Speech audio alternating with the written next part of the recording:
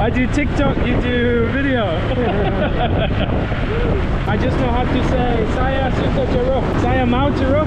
jeruk, jeruk.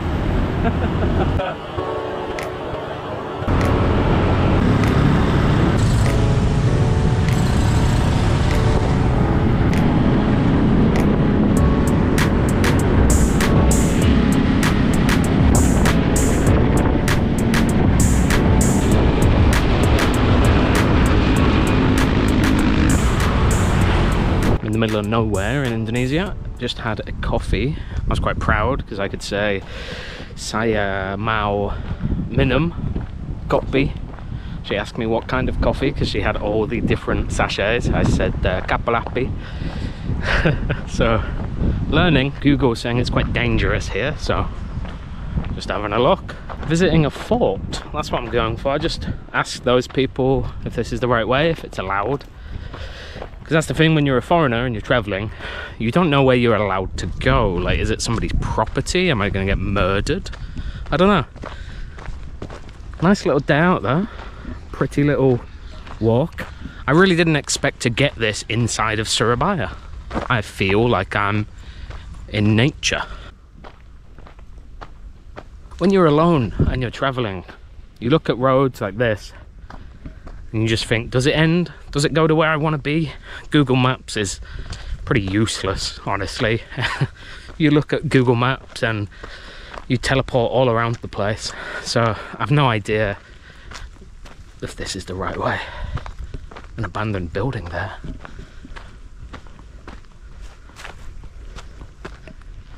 Pretty sure that's not what I'm looking for. So we'll keep going. Or maybe it's this.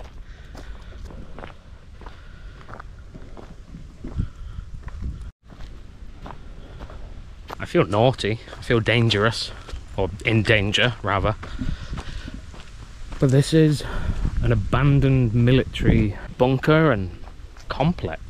Let's look right into number five, figure out what's going on, and then we'll climb some steps.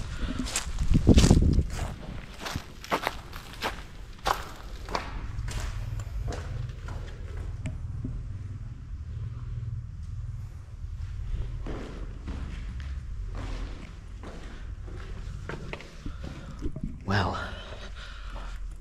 oh my god.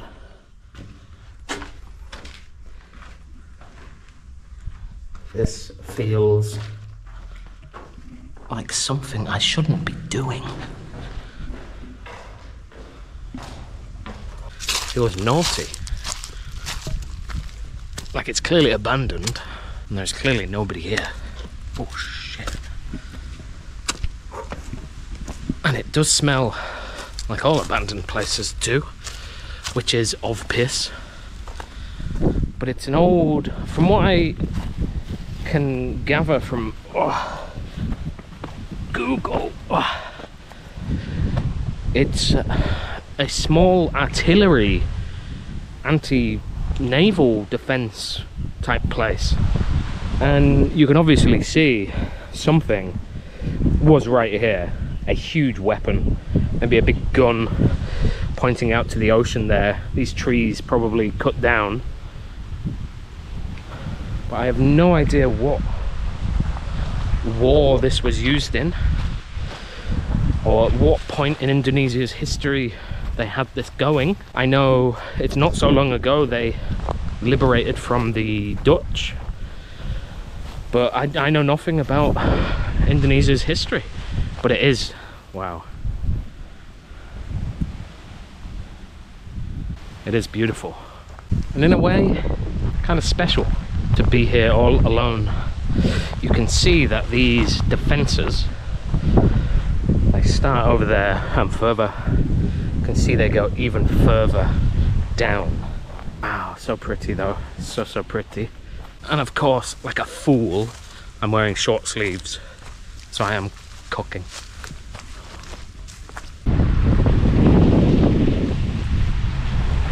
in the distance we have the bridge the beautiful bridge it cost 350 million to make that's around 3 trillion Indonesian rupiah it's about six kilometers long And It's quite impressive.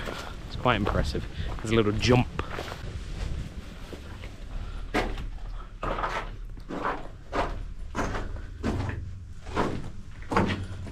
Oh, Jesus. Look, there's even cardboard there, so clearly someone has sat or slept there.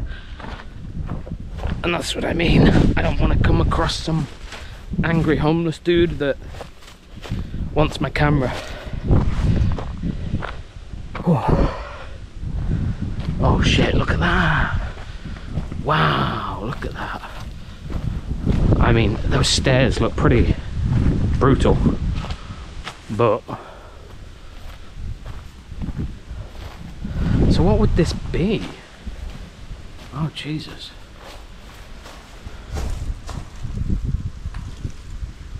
I'm assuming they had a huge door here and it's a big thing.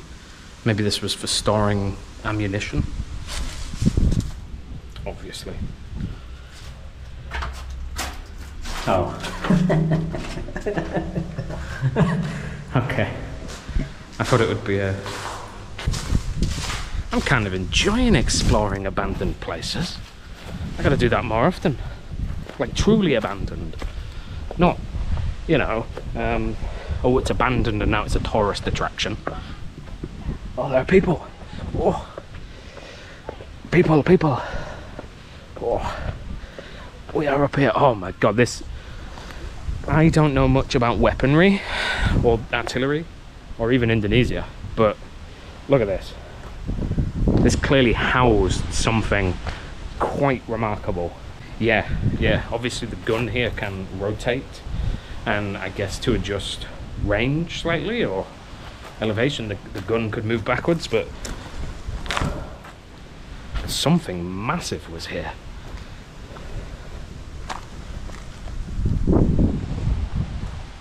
Oh shit look. This is how abandoned we're talking oh my god I don't want to step on that but I will Jesus that looks kind of safer. If I dangle, oh, two little bouncers, boom. I haven't really had too much time to make a video because my beautiful wife is pregnant and I've had time to make a video. I've just been very lazy. I've been very lazy and I lost my confidence a bit with the camera. But uh, we're getting back. We're getting back. There's a man-made trail. Let's explore before we go to the big building. And, and like I said, this isn't anything crazy, this content, but it's an abandoned military base in Indonesia.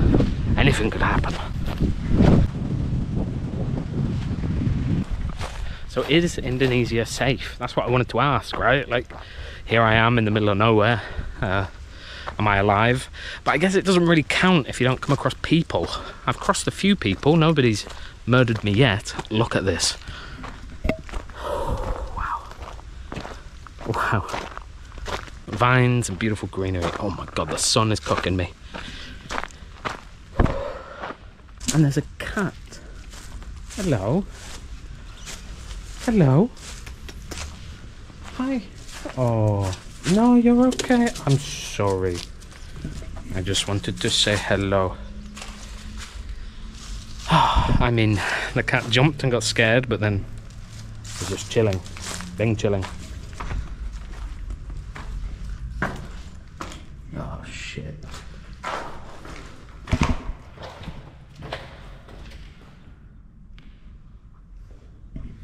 guess this is a place for beds. Sleeping quarters, it looks like. My camera just said that it's overheated so much it has to repair the file. So maybe all this was for nothing. Maybe there is no video. But I'm gonna keep going as if there is. It said that the file was corrupt and it needs repairing. We'll see if it can repair. Somebody in the comments has to tell me what war this was built for just these beautiful I don't know if the camera picked that up like an explosion and I hear voices More explosions. There's legit like a cannon being fired.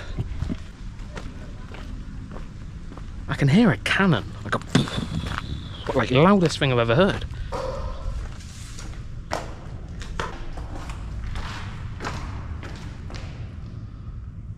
Ominous hooks. I'm gonna go ask them if they know what the boom was. You speak any English? No English. The sound. Just, you, you speak English? You any English? Saya suka jeruk. Jeruk, jeruk. Saya mau jeruk. Saya punya jeruk. All I know. Boom. Ah.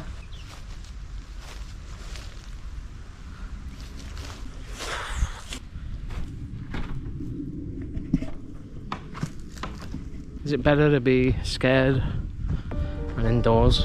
Or is it better to do 10,000 fun things and maybe one time something bad happens, you know? Statistically, that's how it is, right? But yeah, get out there, do something, go a little bit crazy. We only get one chance to go around on this planet and live. One chance. And regardless of religion or beliefs, pretty sure we all agree that it's the only chance we get on this earth. So, just do it. Prior to traveling, didn't leave the house in years. I had depression and anxiety, and wow.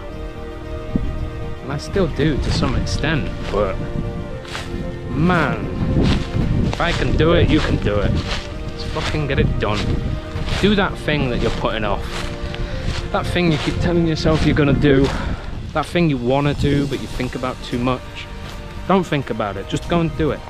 Don't let yourself sit and mull over the idea and think, hmm, but this could happen, mm, this. Just do it.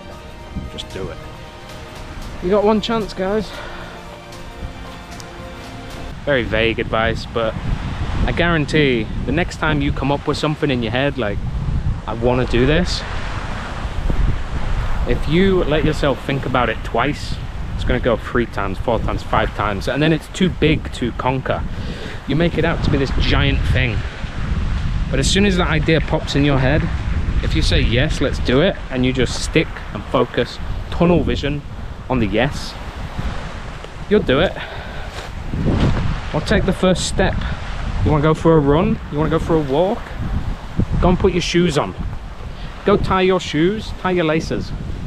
And then ask yourself, do I want to do it? You're going to feel like a complete idiot if you turn around and take your shoes off. That feeling is going to motivate you to go and do it, man. And it works with a lot of things. I'm not perfect. As soon as there's people, I get a little bit nervous, don't want to talk to the camera. But with practice comes perfection. With perfection comes something.